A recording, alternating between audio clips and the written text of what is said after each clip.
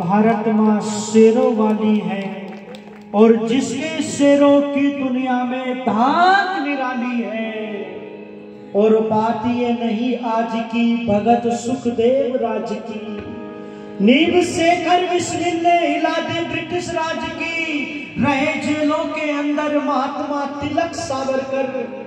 मुझे बाल गंगाधर तिलक की एक घटना याद आती है। वो कहते थे कि स्वराज्य मेरा जन्म सिद्ध अधिकार है।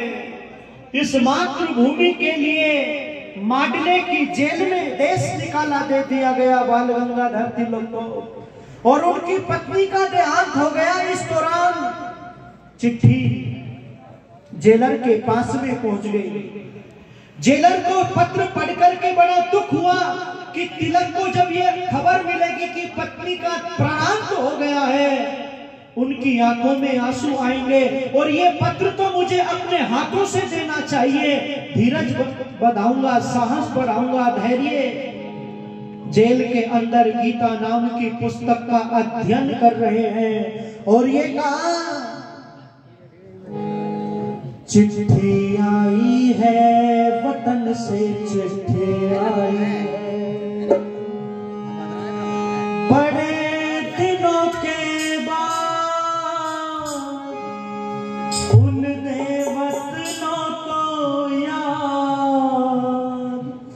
वतन की मिट्टी आई है। चिट्ठी आई है, वतन से चिट्ठी आई है। वतन से चिट्ठी आ गई। और उस चिट्ठी में तुम्हारी पत्नी का प्राणांत हो गया है। पत्नी का प्राणांत की जब खबर पड़ी है, पत्र को पढ़ा है, चिट्ठी को रख करके, आँख बंद करके बैठ गए, आँखें खोली तो जेलर ने ये कहा, ओ बाल गंगाधर तिलक, मैंने तुम जैसा कठोर पत्थर दिल इस संसार के अंदर नहीं देखा, अरे जिसकी पत्नी का प्राणांत हो गया उसकी मृत्यु पर तुम्हारी आँख से एक आँसू भी बह करके नहीं आया। तुम जैसा कठोर पत्थर दिल मैंने नहीं देखा। तब बाल गंगाधर तिलक ने जो बात कही थी, जरा ध्यान से सुनना उन बातों को। क्या राष्ट्र प्रेम था, क्या राष्ट्र भक्ति थी? आज भी ऐसा लगता है कि बाल गंगाधर तिलक जीवित हैं, उनकी बातें जीवित हैं, उनका त्याग जीवित है, उनका बलिदान जीवित है। जेलर से कहा हो जेलर, हृदय की कठोरता ना कहिएगा इसको। मैं भी अपनी पत्नी में अनुराग रखता हूँ। उनकी विदाई मेरे लिए एक बहुत बड़ी पीड़ा है।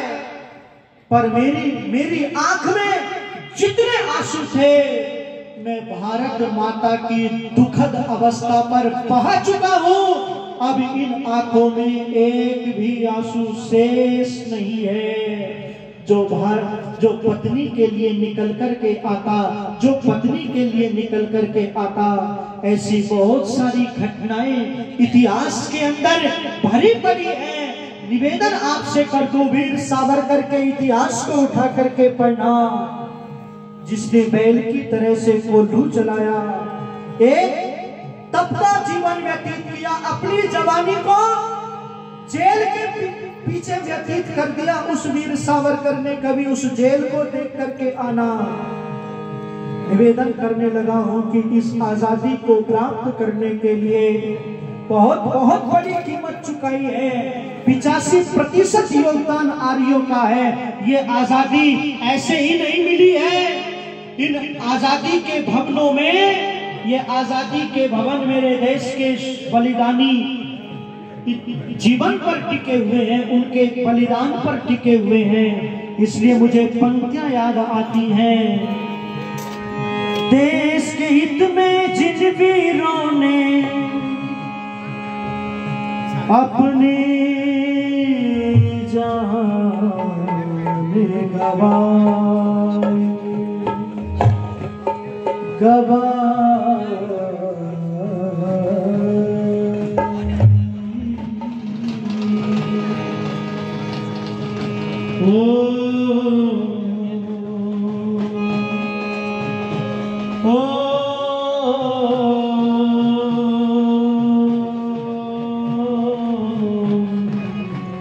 Oh.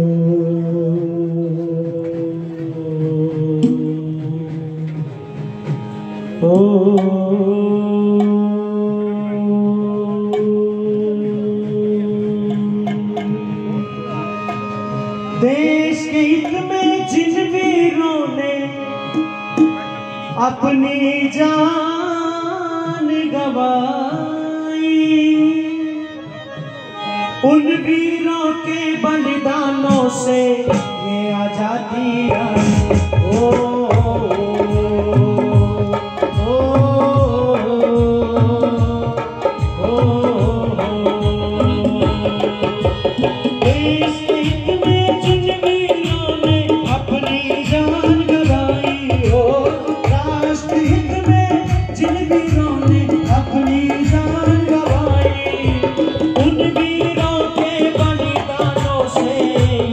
आजादे हम ओ,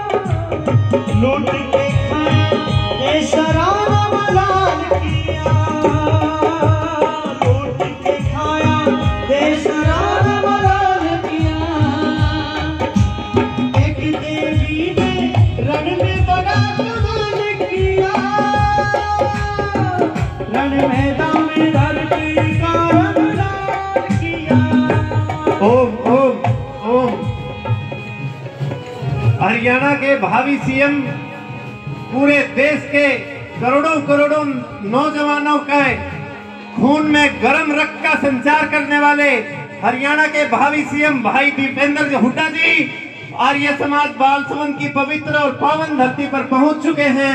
मैं भाई जयप्रकाश जी को, भाई अंकल जयप्रकाश जी को निवेदन करूँगा कि वो वेदी के ऊपर आए।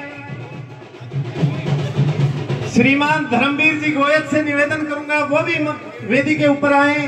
मनोज पाल जी से निवेदन करूँगा, वो भी मंच के ऊपर आए।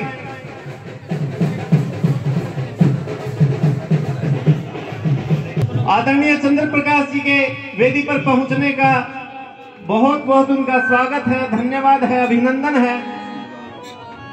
आदरणीय श्रीमान बीर सिंह दलाल जी से निवेदन है कि वो भी आए।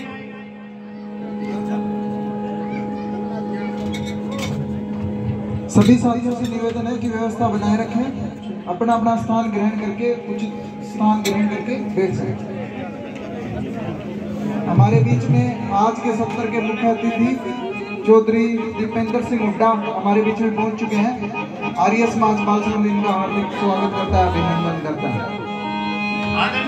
आदरणीय राजेश सूरा जी से निवेदन है कि वो भी आए।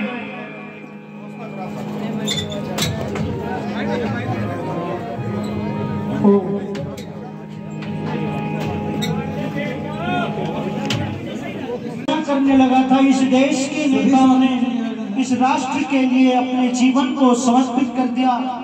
ऐसे ही राष्ट्र नेता हमारे आज के श्री चौधरी श्री दीपेंद्र सिंह हुड्डा जी यहाँ पर उपस्थित हो गए हैं। वो एक ईमानदार और राष्ट्रभक्त नेता हैं। हम उनका हृदय की गहराई से सम्मान करते हैं। और मैं आप सभी से निवेदन करता हूँ कि अपना स्थान ग्रहण कर लें।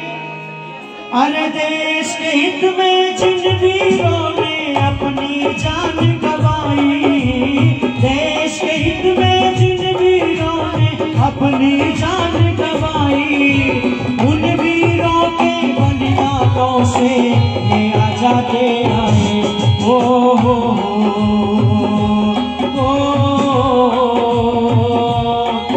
हो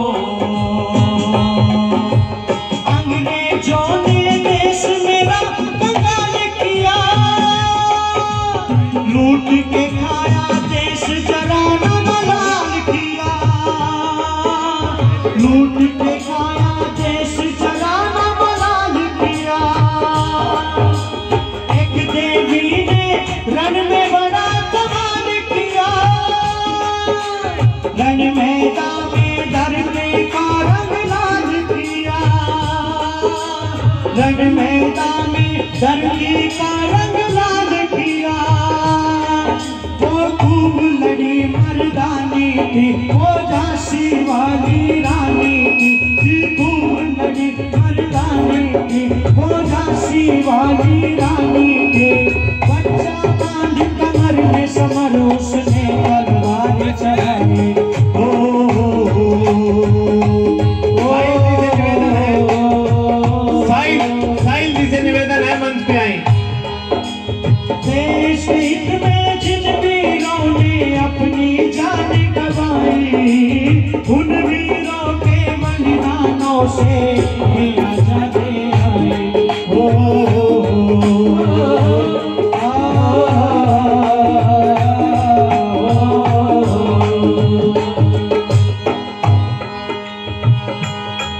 गुजरात प्रांत से एक सन्यासी आया था। ऋषि दयानंद सरस्वती कहलाया था। ऋषि दयानंद सरस्वती कहलाया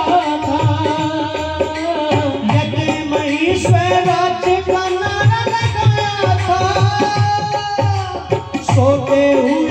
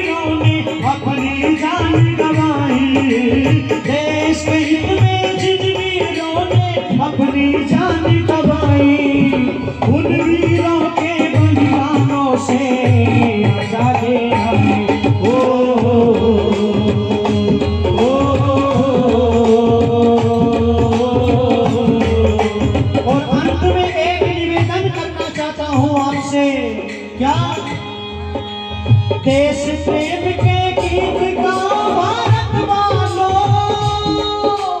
हिंदू वर्तमान पर एक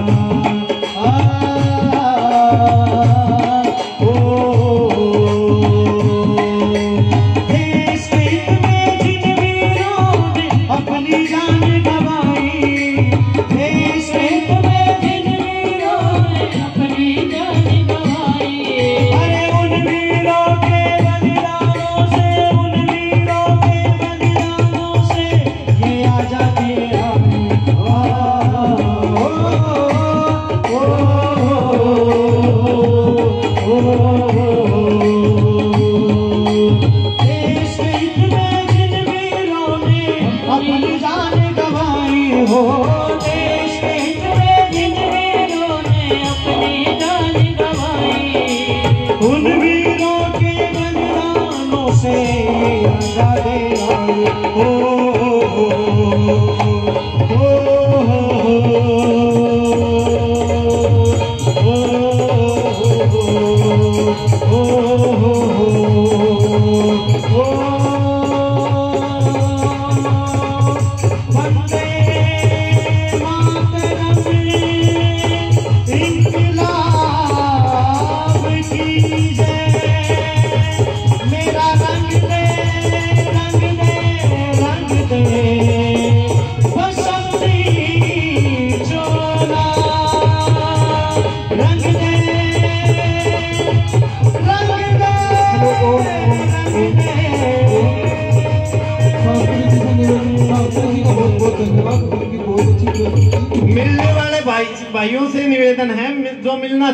अंदर पूरी व्यवस्था है। भाई साहब से अंदर मिलने की व्यवस्था हमने कर रखी है। भाई साहब अंदर मिलेंगे।